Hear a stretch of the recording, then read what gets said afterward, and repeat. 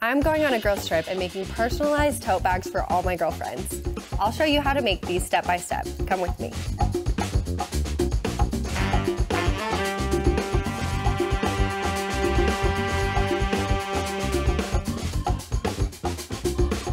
Hi, I'm Jill with Cricut and today we're gonna make a personalized tote bag. I'm super excited to be going on a girls trip with some of my best friends and so I wanna go a little bit over the top and make them each an individualized goodie bag.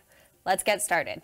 The things that you'll need today are scissors, a weeding tool, a mat. I'm using the standard grip Cricut mat, my Cricut Explore 3, some infusible ink with the butcher paper that's included, a tote blank, and then I also have a lint roller and a trimmer as well.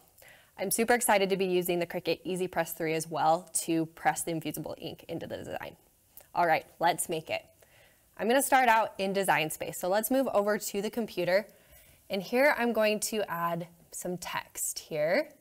So I love a simple but beautiful font. So my name is Jill. I'll start with mine because we love ourselves here. And I'm gonna update the size so that it is seven inches tall. All right, so I've already measured this against my tote bag and I know that that's the size that I wanna start with.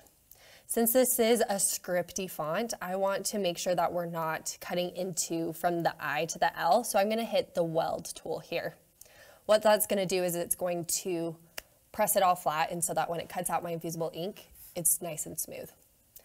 Now that that looks good, I'm gonna hit Make It on Design Space and cut it out on the mat. All right, super simple and easy. Now I'm gonna move over to the mat and get my infusible ink ready to cut.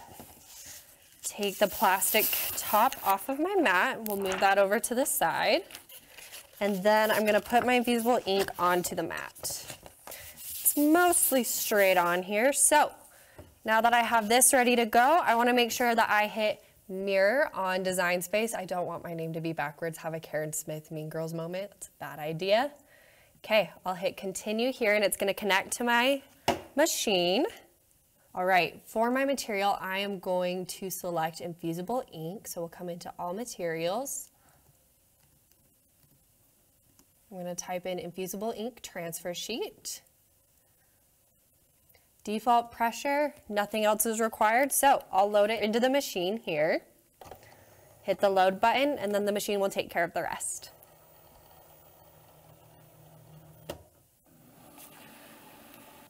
All right, once it's measured out the material, make sure I have enough. I'll just hit the go button here and it'll cut out my design.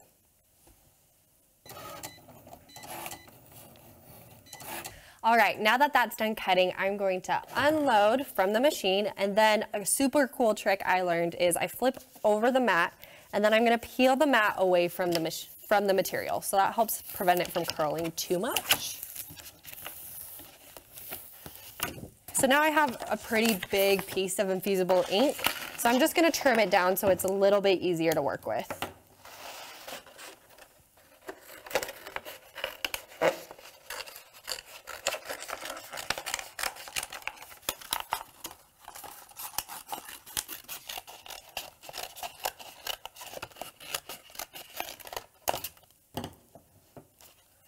Okay, now I have my name cut out here. And then I'm gonna pull out my weeding tool and then just separate anything that I don't want transferred onto the design.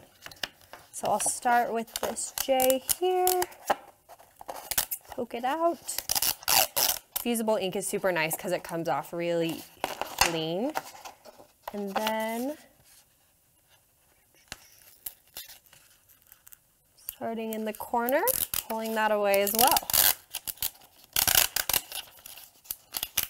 Feel like I could be on one of those ASMR videos just peeling infusible ink all day.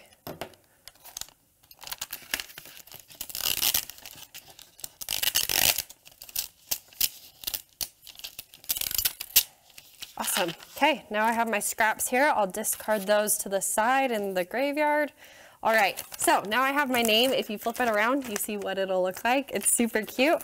And I liked the idea of putting it in the bottom corner of my design. So I'm just gonna make sure I like where it goes.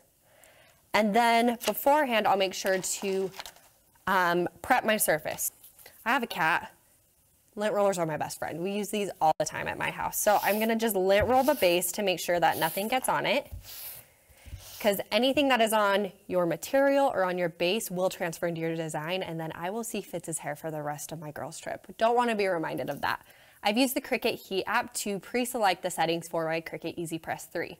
So it's told me for infusible ink with the tote bag base, I need 385 degrees Fahrenheit for 40 seconds. So I already sent those settings over to the Easy Press 3 and it has heated up my Easy Press 3. All right, what I love about the Cricut Heat app is it's telling me basically the sandwich that I need to build to have a perfect press. On the bottom, I have my Cricut Easy Press mat. Up next, I have my tote, and to make sure that I'm not gonna bleed through, I'm gonna put a piece of plain white cardstock in between where I'm pressing and the other side of the blank. Blanks are what we refer to when we're using a blank material.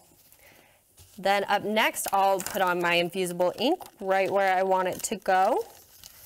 Press that down. What's nice since this is a bigger design, I'm not going to use any heat transfer tape, but if you do have a smaller design you wanna make sure stays in place, you can always secure that with transfer tape. And then finally, I'm gonna use the butcher paper that came with my infusible ink to cover the design.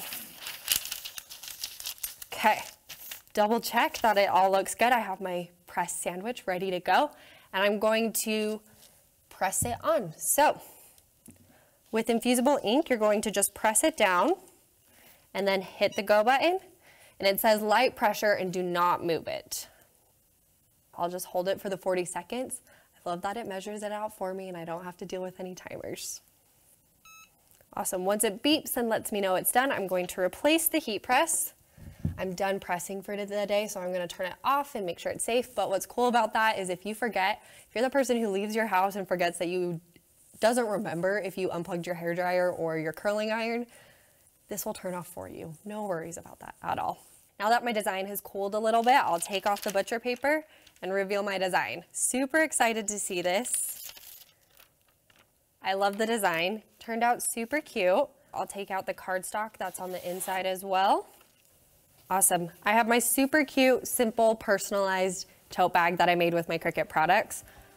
It was so easy to make. I would encourage anyone to try it. I struggle with crafting from time to time, and so Cricut made it easy step by step, and if I can do it, you can as well. Try to make it along with me. Thanks.